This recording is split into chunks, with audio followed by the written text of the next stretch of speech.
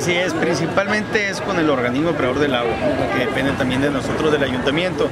Eh, hay un gran adeudo que tenemos ahí dentro del organismo operador del agua y entre ellos está la CFE que ya lo hemos venido tratando desde hace varios meses, pero sí es cierto que la cuenta se ha abultado eh, y es importante que los ciudadanos nos ayuden con el pago de su recibo.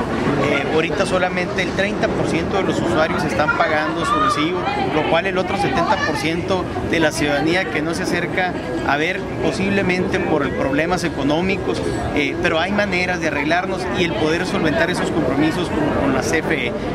Yo ruego, nos disculpen todos los ciudadanos cumplidos que pagan su recibo a tiempo.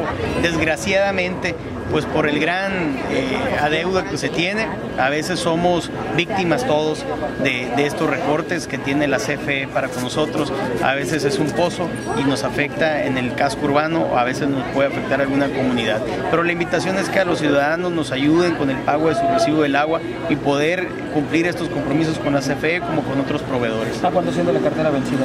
De 50 millones de pesos.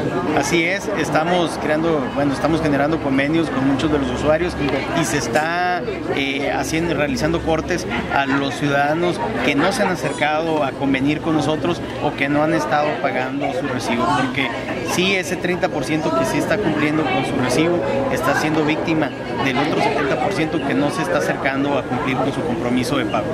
No, no hay tendeos, eh, pero sí estamos eh, ya hace un par de días se nos cortó un pozo que afectó un gran sector de la ciudad.